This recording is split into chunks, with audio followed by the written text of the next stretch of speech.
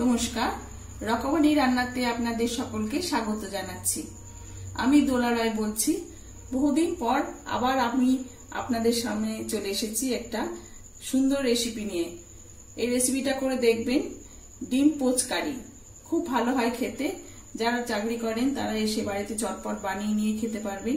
যদি ভালো লাগে আমার এই রেসিপিটা তাহলে আপনারা আমার এই রেসিপিটাকে লাইক করবেন শেয়ার করবেন, আর আমার চ্যানেলকে সাবস্ক্রাইব করবেন। পোচ কারি বানাতে লাগছে, সাদা তেল নিয়েছি। এখানে যদি আপনারা সর্ষের তেল নেন, তাহলে সর্ষের তেল নেবেন। আর তার সঙ্গে পেঁয়াজ কুচোনো, দুটো বড় বড় পেঁয়াজ কুচিয়ে নিয়েছি। একদম ছোট ছোট করে কুচিয়ে নিয়েছি। চারটে লঙ্কা কুচিয়ে নিয়েছি।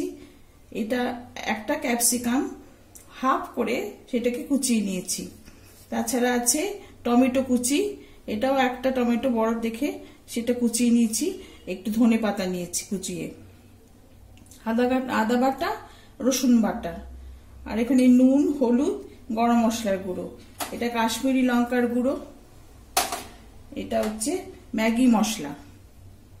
দুখানা ডিম আমি পোচ করব বলে রেখেছি। একটা একটা দুটো।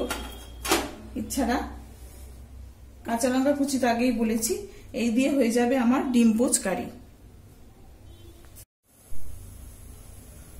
প্যান বসিয়ে দিয়েছি, গরম হয়ে গেছে, সাদা তেল দিয়ে দিলাম। দুই টেবিল চামচ মতো সাদা তেল দিলাম। এটা একটু গরম হয়ে যাক।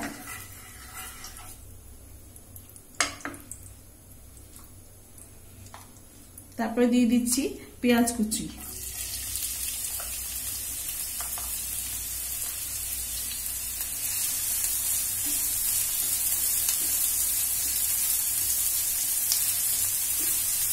একটু লাল লাল করে ভেজে নেব। এবারে টমেটো কুচিটা দিয়ে দিচ্ছি।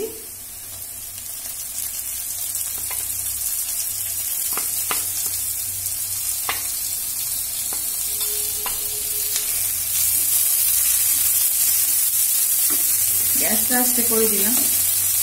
পুড়ে যাবে।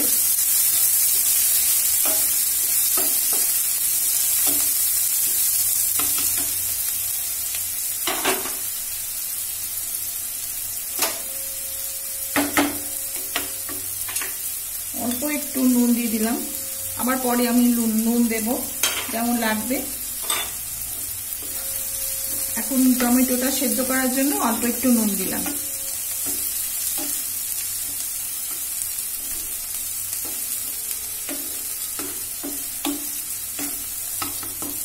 এবারে আদা বাটা হাফ চামচ, চা চামচের হাফ চামচ আদা বাটা দিলাম। চা চামচের হাফ চামচ রসুন বাটা।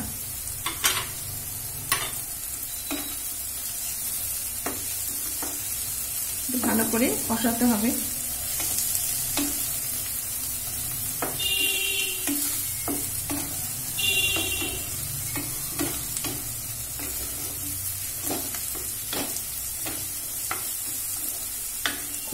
হয় এই রেসিপিটা সারাদিনে কাজের পরে তখন রান্না করতে ভালো লাগে না, তখন এইটা করে নিলেই খাওয়া হয়ে যায়। রাত্রে ডিনারের পক্ষে তো খুবই ভালো। একটু হলুদ দিয়ে দিলাম, পরিমাণ মতন হলুদ দিয়ে দিলাম।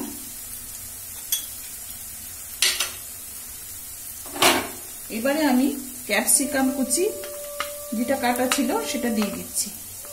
যদি আপনারা কেউ ক্যাপসিকাম না খান তাহলে দেবেন না স্কিপ করে যাবেন।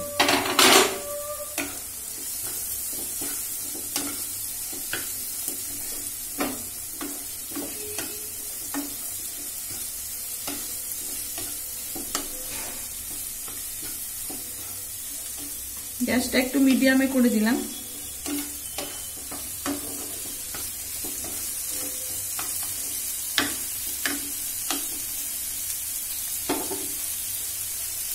সামান্য জল দিলাম।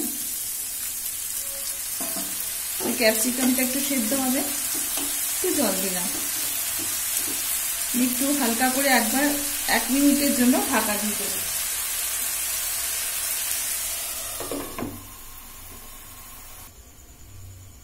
এক মিনিট হয়ে গেছে, খুলে দেখছি।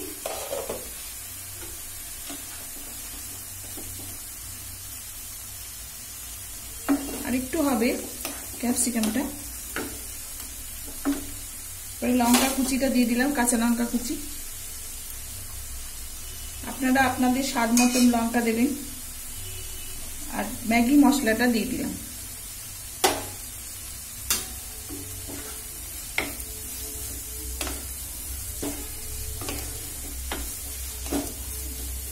এবারে আমি একটু নুন দেব। নুনটা আমি তখন অল্প একটু দিয়েছিলাম। আর একটু নুন দিয়ে দিলাম।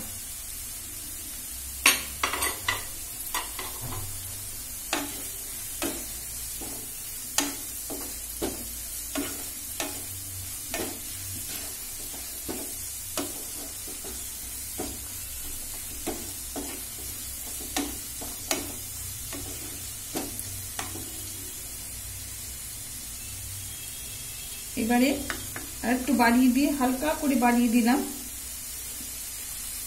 দিয়ে একটু জল দিয়ে দিলাম।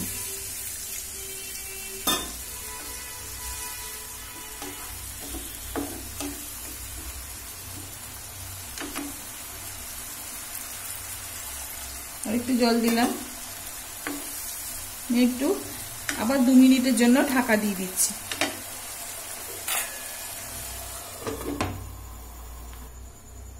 দু মিনিট হয়ে গেছে। আমি এবার ঢাকাটা খুলছি। সেদ্ধ হয়ে গেছে।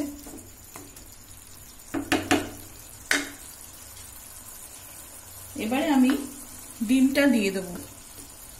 একটু আঁচটা বাড়িয়ে দিলাম।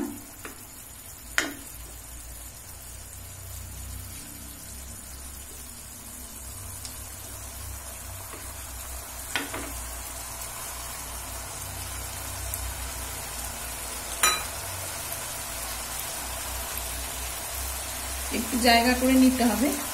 নিয়ে জায়গা করে নিয়ে সেই জায়গাটাতে আমি ডিমটা দেব।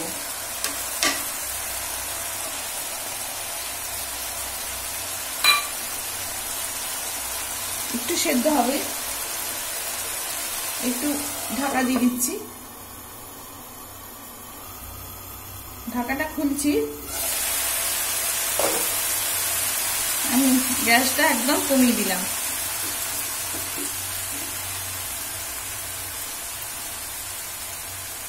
খুব ভালো লাগছে দেখতে। একটু শক্ত হয়ে যাক ডিমটা তারপরে আমি গরম মশলা গুঁড়ো দিয়ে নামিয়ে দেবো।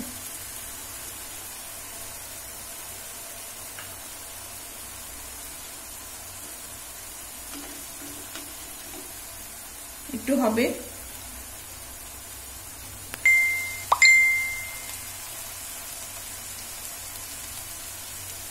এবারে আমি এই ধনে পাতা কুচোনোটা একটু ছড়িয়ে দিলাম।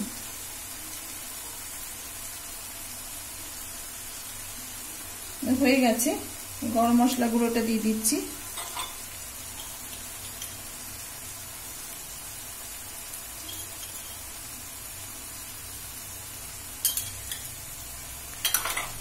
এবারে আমি নামিয়ে দেব। তৈরি হয়ে গেল ডিম পোচকারি। এটা খেতে খুব ভালো হয়। আপনারা বানাবেন সকলে।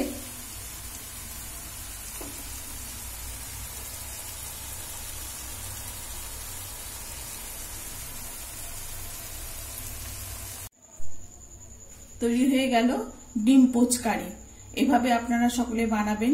যদি আমার এই রেসিপিটা আপনাদের ভালো লাগে, তাহলে আপনারা আমার এই রেসিপিটাকে লাইক করবেন, শেয়ার করবেন, আর আমার চ্যানেলকে সাবস্ক্রাইব করবেন।